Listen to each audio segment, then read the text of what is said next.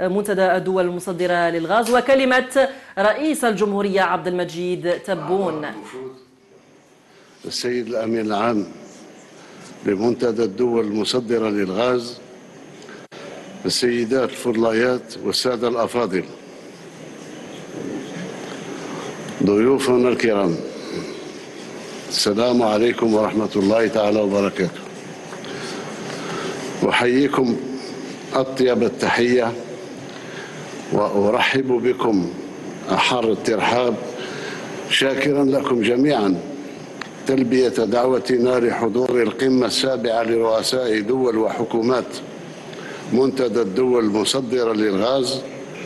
متمنيا لكم إقامة طيبة في الجزائر. بلدكم الثاني واسمحوا لي في البداية أن أتقدم بخالص الشكر والعرفان. لصاحب السمو والأخ العزيز شيخ تميم بن حامد الثاني أمير دولة قطر الشقيقة على رئاسته الموفقة للدورة المنصرمة وإدارة متطلباتها بحكمة وتبصر. السيد الأمين العام لمنتدى ولكافة المساهمين في مسار إعداد وتحضير أشغال قمتنا هذه. ولا يفوتني أن أنوه عاليا بانضمام جمهورية موزمبيق والجمهورية الإسلامية الموريتانية الشقيقة إلى رحاب منتدانا بصفتهما عضوين ملاحدين منذ آخر دورة. كما نسجل اليوم بكل اعتزاز انضمام جمهورية السنغال الشقيقة بدورها إلى هذا المنتدى الموقر بصفتها عضوا ملاحظا كذلك. تشكل هذه القمة فرصة لرسم رؤية مشتركة للحفاظ على مصالح المنتجين والمستهلكين للغاز في آن واحد.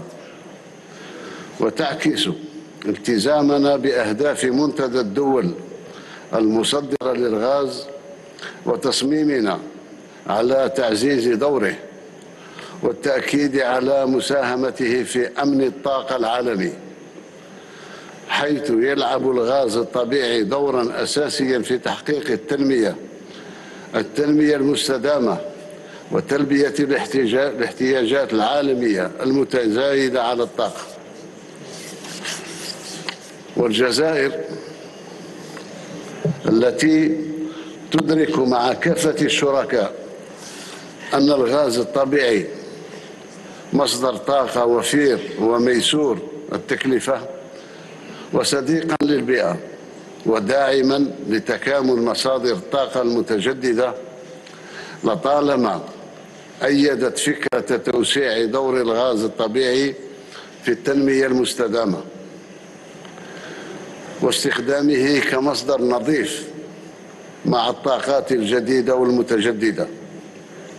وإذا كنا نسعى جميعا إلى تدعيم التقدم التكنولوجي في هذا المجال والعقود طويلة الأجل والأسعار العادلة والسياسات التي تشجع على الاستثمار لتحديات في المجال الطاقوي فإن التحديات اليوم تتطلب منا تعزيز الحوار والعمل المتعدد الأطراف الذي يؤدي إلى تحقيق الذي يؤدي إلى تحقيق الأهداف التي وضعناها عند تأسيس منتدانا هذا. وقمتنا هذه مناسبة هامة لتعميق التعاون من خلال تبادل وجهات النظر والتجارب والخبرات وتأسيس حوار استراتيجي بين مختلف الفاعلين في أسواق الغاز لرسم المسار المستقبلي لهذا المورد الطاقوي الحيوي في التنمية واستخدامه كوقود نظيف مع الطاقات المتجددة. أصحاب الفخامة والسمو والمعالي. إن منتدى الدول المصدرة للغاز منصة للتعاون وبصفتها جميعا وبصفتنا جميعا مؤيدين لهذا التوجه يزداد حرصنا على الحوار ليصبح منتدنا طرفا يساهم في تعزيز مصالحنا المتبادلة وبناء اجتماع إجماع حول الدور الحيوي للغاز في التنمية المستدامة وتحقيق رؤيتنا المشتركة وهو ما يدعو إلى اتخاذ إجراءات ملموسة حيث يجب أن نواصل تطوير موارد الغاز بالاستثمار المستمر والتعاون في التكنولوجيات والابتكار وتطوير تقنيات الاستخراج والتسويق. لا سيما من خلال معهد البحث في الغاز تابع لمنتدانا والذي تسعد الجزائر باحتضانه ليكون إطارا للتعاون العالمي والعلمي عبر تبادل المعلومات وتقاسم الخبرات والمهارات وتطوير الشراكات مع مراكز البحث والجامعات في الدول الأعضاء والمراكز المماثلة في جميع أنحاء العالم. وتطلع الجزائر إلى مواصلة التعاون الوثيق مع أعضاء منتدى الدول المصدرة للغاز الذي يواصل استقطاب أعضاء جدد سيساهمون من دون شك في ارتقاء بمكانته المنت... في ارتقاء بمكانة المنتدى على الصعيد الدولي وتحقيق أهدافه الاستراتيجية.